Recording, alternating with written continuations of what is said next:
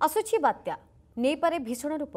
ଛବିଶ ତାରିଖ ସକାଳେ ପଶ୍ଚିମବଙ୍ଗ ଓଡ଼ିଶା ଉପକୂଳରେ ପହଞ୍ଚିବ ୟସ୍। ପଚିଶ ତାରିଖରୁ ଆରମ୍ଭ ହୋଇଯିବ ବାତ୍ୟାର ପ୍ରଭାବ। ପ୍ରବଳରୁ ଅତି ପ୍ରବଳ ବର୍ଷା ହେବା ସହିତ ପବନର ବେଗ ମଧ୍ୟ ବଢ଼ିବ। ଏନେଇ ପୂର୍ବାନୁମାନ କରିଛି ଭାରତୀୟ ପାଣିପାଗ ବିଭାଗ। ଏପଟେ ସମ୍ଭାବ୍ୟ ବାତ୍ୟାର ମୁକାବିଲା ପାଇଁ ରାଜ୍ୟରେ ଆରମ୍ଭ ହୋଇଛି ପ୍ରସ୍ତୁତି। ଏସ୍ଆର୍ସି ବିଭିନ୍ନ ବିଭାଗର ସଚିବଙ୍କ ସହିତ ଆଲୋଚନା କରି ପ୍ରସ୍ତୁତ ରହିବାକୁ ନିର୍ଦ୍ଦେଶ ଦେଇଛନ୍ତି।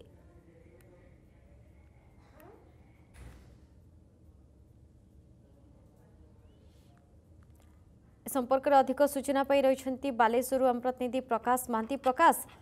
ୟସ୍ ଯେହେତୁ ଆସୁଛି ଏବଂ ଖାସ କରି ଏଇଟା ଯେହେତୁ ଉତ୍ତର ପଶ୍ଚିମ ଦିଗ ଦେଇ ଗତି କରିବ ଏବଂ କୁହାଯାଉଛି କି ଓଡ଼ିଶା ଏବଂ ଅ, ପଶ୍ଚିମବଙ୍ଗ ବର୍ଡର ଦେଇ ଏଇଟା ଯିବ। ତେଣୁ ସ୍ୱାଭାବିକ ତ ଉତ୍ତର ଓଡ଼ିଶା ଭିତରେ ବାଲେଶ୍ୱର ଅଧିକ ପ୍ରଭାବିତ ହେବାର ସମ୍ଭାବନା ରହିଛି। ତେଣୁ ସେ ଦୃଷ୍ଟିରୁ ବାଲେଶ୍ୱର ଜିଲ୍ଲା ପ୍ରଶାସନ ଅ, ର ଏୟର୍ସ ପାଇଁ କିଭଳି ରହିଛି ବର୍ତ୍ତମାନ ପ୍ରସ୍ତୁତି?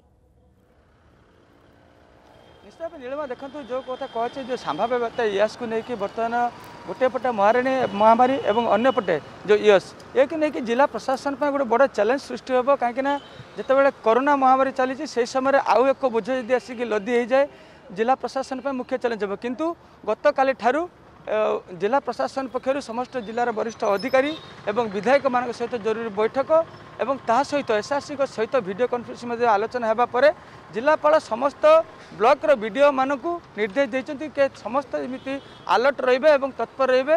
ତାହା ସହ ଯେଉଁ ଜିଲ୍ଲାର ବାତ୍ୟା ଆଶ୍ରୟସ୍ଥଳୀ ଗୁଡ଼ିକ ଅଛି ସେଗୁଡ଼ିକ କେଉଁଭଳି ଭାବେ ତା'ର ମରାମତି ହୋଇପାରିବ ସେଠାରେ ଆବଶ୍ୟକୀୟ ଜିନିଷ କେମିତି ରହିପାରିବ ଏବଂ ତାହାର କଥା ନେଇକି ମଧ୍ୟ ନିର୍ଦ୍ଦେଶ ଦେଇଛନ୍ତି। ଦ୍ୱିତୀୟ କଥା ହେଉଛି ଯେତେବେଳେ ମହାମାରୀ ଅଛି ଏବଂ ଏସବୁ ଲୋକମାନେ ଯଦି ଆମେ କହିବା ପାଖାପାଖି ଯଦି ବାତ୍ୟା ହୁଏ ସମ୍ଭାବ୍ୟ ବାତ୍ୟା ତ ପାଖାପାଖି ଜିଲ୍ଲାର ଉପକୂଳବର୍ତ୍ତୀ ଯେଉଁ ଅଞ୍ଚଳ ଗୁଡ଼ିକ ଅଛି ବା ଗାଁ ଗୁଡ଼ିକ ଅଛି ସେଥିରୁ ପାଖାପାଖି ଦେଢ଼ ଲକ୍ଷ ଲୋକ ପାଖାପାଖି ଇଭାକୁଏସନ୍ ହୋଇପାରନ୍ତି।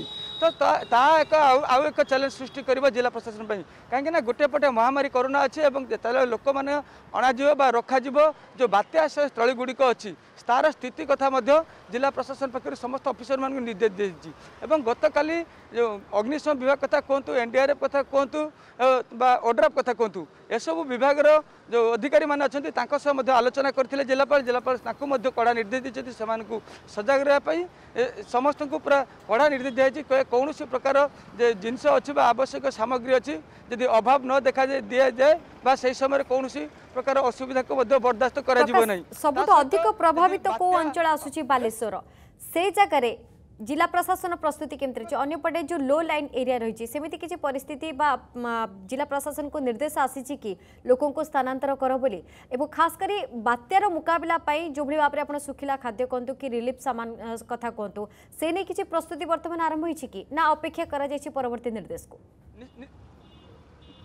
নিশ্চিত ভাবে নীলিমা দেখুন এ নেই জেলা প্রশাসন পক্ষ গত দুই দিন হব ঘন ঘন বৈঠক বসুছি জেলার সমস্ত অধিকারী মানুষ যদি বাত্যা ইয়স ତ ବେଶୀ ଜିଲ୍ଲାର ସବୁଠୁ ବେଶୀ ତଳିଆ ଅଞ୍ଚଳ ଆମେ ଯଦି କଥା କହିବା ଭୋଗରାଇ ବାଲିଆପାଳ ବସ୍ତା ସଦର ବ୍ଲକ ରେମୁଣା ବ୍ଲକ ଏବଂ ବାହାନଗା ବ୍ଲକର ବିଶେଷ ଏହିସବୁ ଅଞ୍ଚଳ ବେଶୀ କ୍ଷତିଗ୍ରସ୍ତ ହୋଇଥାଏ। ତ ସେଦି ଆମେ କଥା କହିବା ଏହିସବୁ ଅଞ୍ଚଳର ପାଖାପାଖି ଦେଢ଼ ଲକ୍ଷରୁ ଉର୍ଦ୍ଧ୍ୱ ଲୋକଙ୍କୁ ଇଭାକୁଏସନ୍ କରାଯିବ। ସେଥିପାଇଁ ମଧ୍ୟ ଆଲର୍ଟ ଜାରି କରାଯାଇଛି କିନ୍ତୁ ବର୍ତ୍ତମାନ ପର୍ଯ୍ୟନ୍ତ ସେଭଳି କୌଣସି ନିର୍ଦ୍ଦେଶ ଦିଆଯାଇ ନାହିଁ ଯେ ଲୋକଙ୍କୁ ସ୍ଥାନାନ୍ତର କରିବା ପାଇଁ। କିନ୍ତୁ ସମସ୍ତ ଅଧିକାରୀମାନଙ୍କୁ ରଖାଯାଇଛି ଯୋଉ ର- ଶୁଖିଲା ଖାଦ୍ୟ ହେଉ ବା କ୍ୟାଣ୍ଡେଲ ହେଉ अर्थात् समस्त प्रतिकूल परिस्थिति को सामना जाला प्रशासन प्रस्तुति आरम्भ एवं प्रस्तुत केवल अपेक्षा बर्ती निर्को धन्यवाद प्रकाश प्रकाशम प्रतिनिधि प्रकाश महाति